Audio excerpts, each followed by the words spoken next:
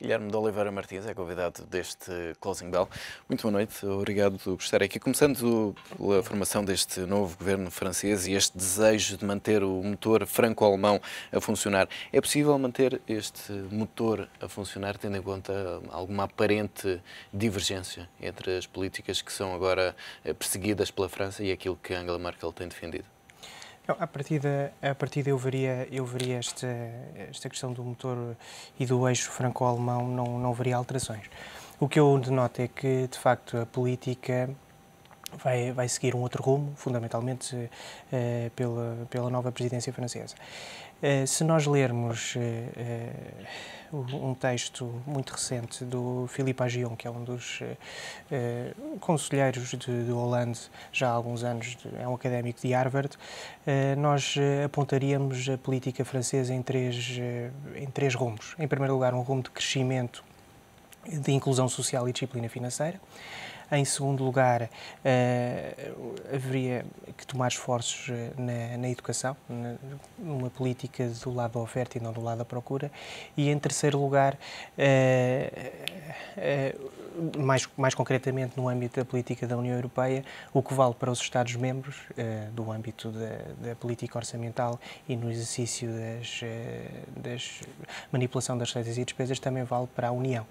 Portanto, no fundo, estes três eixos uh, permitem a te ver que, de facto, não obstante Holanda representar um governo de esquerda, este São eixos que ainda encaixam na, na visão alemã. Ainda também. encaixam na visão alemã, porque se nós olharmos para o passado deste, deste conselheiro Filipe Agion é um, é um supply-sider. O que é que isto quer significar? É, no fundo, é, defende a escola monetarista e não a escola keynesiana.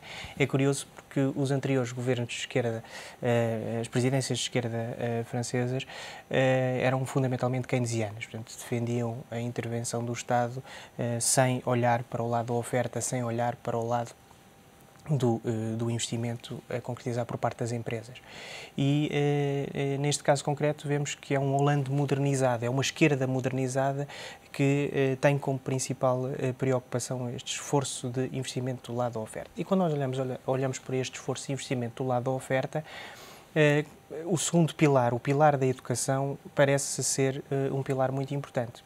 Na realidade, denota-se que em França já há 15 anos houve um atraso, um certo atraso no investimento em educação e tenta de facto retomar-se este, este esforço na educação e no investimento do capital humano, tentando assim. Hollande prometeu criar milhares de, de, de postos para, para professores. Exatamente. E portanto, eh, eh, esta ideia da educação é uma ideia de basilar eh, no esforço de concentrar um investimento futuro portanto, eu diria. Por outro lado, quando olhamos para esta, esta ideia de crescimento uh, concertada entre a União e os próprios Estados, o que Hollande se refere, e, que, e por conselho de Agion, é precisamente o investimento em infraestruturas. No fundo, o investimento em infraestruturas por via dos fundos estruturais pelos vários Estados-membros seria uma forma de fomentar uh, o crescimento dos, vários, dos vários Estados. Enfim, poderia ser. Um modelo que até já foi utilizado na própria Europa sim, e nos sim. Estados Unidos com precisamente esse objetivo de relançar a economia. Sim, sim. E no fundo evitar também esta onda de desemprego que assola um pouco pela Europa. Há também um aspecto importante que é interessante analisar de acordo com os dados. Enfim, isto são estes, estes períodos, estas semanas sucedem-se e uh, os dados são, são, uh, são muito variados. São cada vez... E o que nós vemos a propósito do desemprego também podemos analisar do lado da inflação. O que é que nós vemos? É que de facto há uma fronteira na Europa do ponto de vista da taxa de inflação nós podíamos distinguir entre os países do Norte, no qual se inclui a Alemanha, e os países do Sul. Eh, e esta, há uma divergência, que de facto os países do Norte têm uma taxa de inflação mais baixa que os países do Sul. O que levanta, acrescendo à questão do desemprego, o que levanta também um problema de competitividade porque de facto o, o, correto seria os países que têm maiores taxas de crescimento evidenciarem maiores taxas de inflação para não uh, suscitar aqui uma, um problema de competitividade entre os Estados. Uh, daí... Isso até poderia ajudar a, resolver alguns desequilíbrios da própria União Europeia, Sim, da zona euro, neste caso. Daí essa ideia de, de, investimento em infraestruturas para tentar evitar este, este problema. Uh, também, uh, também há aqui uma, uma questão interessante que uma das promessas de Hollande seria uh, uh, criar uma taxa uh, em sede de IRS 75% para os, os contribuintes que tivessem rendimentos anuais superiores a um milhão. O, o, o, próprio Agião também se pronuncia sobre essa questão e diz que, à partida, uh, este seria uma solução transitória, em todo o caso, mas também serve para consolidar a esquerda.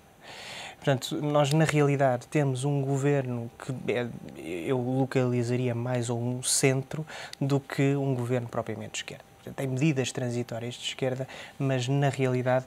Vamos assistir a um desaparecimento de grande parte da, da retórica que foi utilizada na campanha. Sim, eu não diria um desaparecimento total, porque de facto a tónica fundamental é de crescimento e com especial enfoque nas gerações futuras, eh, com este, com este aspecto na educação, que é muito importante. E um dos grandes problemas que este eixo franco-alemão tem de lidar imediatamente é, obviamente, a questão de, da Grécia. Ainda hoje, responsáveis europeus eh, vieram dizer que a União Europeia vai fazer tudo eh, para manter a Grécia na, na União e no euro. A Grécia está a fazer tudo para ficar no euro? Bem, é, é interessante que numa sondagem feita recentemente eh, na Grécia, nós, eh, com, com duas questões, denotamos eh, dois aspectos muito interessantes. Em primeiro lugar, 90% dos inquiridos desejam manter-se no euro, mas 70% são contra as medidas do, do, decorrentes dos, dos planos de austeridade. Uh, isto é verdadeiramente sintomático, porque isto quer significar que está nas mãos, do, é, na, é a Grécia que compete definir se mantém ou não. Porque os próprios eh, instituições europeias já demonstraram que têm vontade em mantê-la. Uh, há aqui um risco uh, associado a, este, a estas novas eleições, há aqui um risco é um risco factual. Se nós pensarmos bem, um, os, os, bancos, eh, a elite, a elite financeira uh, europeia e os próprios bancos centrais podem entender, a certa altura, por, por, falta de liquidez, podem entender traçar uma fronteira e não conceder mais uh, empréstimos. Isso pode legitimar uma política também factual por parte do Banco Central Europeu em também não conceder mais empréstimos e bloquear essa política de financiamento aos bancos gregos. O que levanta aqui um problema é que, perante esta falta, perante este bloqueio de crédito, a própria, uh, o próprio Banco Central grego ver-se é obrigado, mais mais tarde, a emitir, a emitir moeda própria. E a emissão de moeda própria teria como consequência uma, uma moratória da dívida, não é desejável, mas eu diria que está nas mãos dos próprios gregos fazerem crer para o resto, o resto da Europa e para os próprios investidores que estão no caminho certo e que vão cumprir este plano. E essas, estas próximas eleições terão de responder cabalmente a essa pergunta? É, Teremos de é- ter um, uma decisão clara, não podemos ter eu, resultados como os que tivemos eu não nestas diria, eleições. Eu não diria que são estas eleições, não diria que, que é decisivo. Eu, eu, eu formularia a questão ao contrário. Um, eu perguntaria se, se nos dias de hoje, se a Grécia demonstrasse intenção de recorrer a um plano de resgate, se, se, um novo plano de resgate, se isso sucederia. Que nível de confiança é que teriam os gregos? É? E, e à partida eu diria que isto não sucederia, esse novo resgate. Portanto, a Grécia está num caminho sem retorno. Uh, esse, esse caminho para os criadores não institucionais uh, não, há, não há qualquer tipo de, de prejuízo, porque tem a, a, dívida está perfeitamente colateralizada, portanto não está. Os criadores institucionais são aqueles que demonstram a verdadeira vontade em que a Grécia se mantém. E continua a pagar as dívidas. E continua a pagar as dívidas. E é neste cenário de pressão na Grécia, de alteração daquilo que pode ser a visão europeia e também de, de algum, alguma instabilidade na Espanha, que a Troika volta a Portugal já na próxima semana. O que é que pode mudar em termos da perspectiva do memorando de ajustamento da economia eu, portuguesa? Eu, à partida, eh, eu, diria Ainda não é esta altura para, não para, é esta altura para, para serem feitos para, ajustamentos. Para serem feitos ajustamentos. Há aqui um aspecto interessante e a experiência, a lição da Grécia permite, permite denotar isto, é que de facto um, o memorando por vezes não está adaptado à realidade. Portanto, é esta falta de adaptação do memorando à realidade, a concentração em excesso de, de números eh, no médio e no longo prazo e, e, a exigência de traçar objetivos que permitem ver que não basta números. É preciso haver um, um plano efetivo de combate ao desemprego. Perceber, por exemplo, quando nós olhamos para o caso português, há aqui uma dualidade muito interessante no ponto de vista do desemprego, que é, por um lado, temos eh, trabalhadores eh, dependentes em postos de trabalho muito seguros e com em salários muito elevados, e, por outro, temos uma massa de trabalhadores eh, precários que têm salários muito baixos. Portanto, há esta dualidade. Mas a pergunta é, a que é que se deve esta, esta dualidade do desemprego? Deve-se aos trabalhadores? Deve-se à qualificação dos trabalhadores? Ou será que não se deve também ao próprio comportamento das empresas? Portanto, há, aqui, há aqui aspectos que têm de ser pensados, uh, tem de haver uma paragem. É óbvio que estes, estes tempos não são tempos de parar de e de reflexão. refletir, de grande reflexão, mas, uh, mas de facto há, esta, há, este, há este aspecto importante de adaptação do memorando, do memorando à realidade. Uh, em todo o caso, aqui também, aqui também uma outra questão. Eh, quando se fala em planos de contingência, eh, eu penso que, e ouvindo as declarações mesmo do Governo hoje, eh, eu penso que há aqui dois planos. Uma coisa são, uma coisa é fomentar o crescimento da economia e, de facto, evidenciar que se está a empreender medidas efetivas ou políticas ativas de emprego ou, ou de combate ao desemprego e, e fomentar o crescimento.